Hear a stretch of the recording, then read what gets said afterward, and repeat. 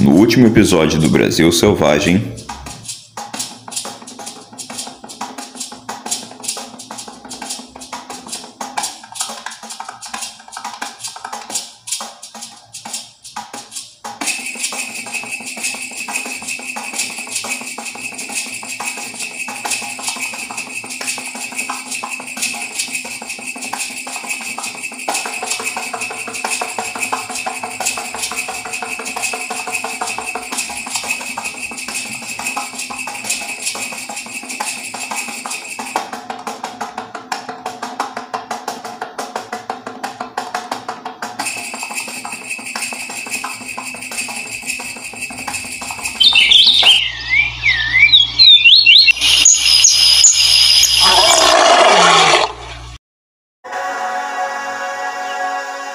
A onça parda, como chamamos o puma aqui no Brasil, vive um extenso habitat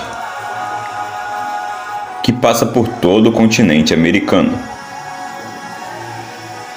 A onça parda tem um corpo projetado para lhe dar vantagem na hora de caçar. Elas são muito pacientes quando se trata de perseguir e emboscar as suas presas. Quando pegam um animal grande, podem esperar vários dias antes de aproveitar a oportunidade de encontrar comida. Às vezes, encontrar comida pode ser muito difícil para a onça parda. Elas têm que competir com um punhado de outros predadores pelos mesmos tipos de comida. Isso inclui o urso negro americano onça pintada, lobos cinzentos e urso pardo. Esses outros predadores mudarão, dependendo do habitat do puma. Há uma abundância de tipos de alimentos que a onça parda consome. Depende da área onde esses animais vivem. Eles são capazes de derrubar animais que são muitas vezes do seu próprio tamanho. Sua dieta pode consistir em veados, alces, porcos selvagens e animais menores como tamanduá-mirim.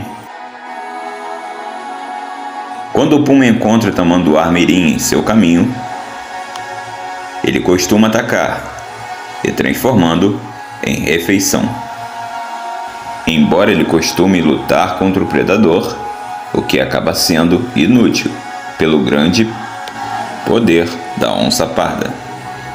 Esses ataques da onça parda no tamanduá-mirim ocorrem mais em território brasileiro, onde os dois se encontram com mais frequência.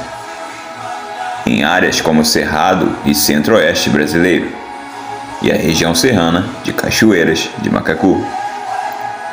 A onça parda é um animal muito bem preparado para sobreviver e o tamanduá-mirim vai fazer parte da sua alimentação se entrar em seu caminho.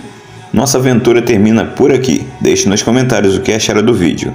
Curta e compartilhe esse vídeo com seus amigos. E até a próxima aventura!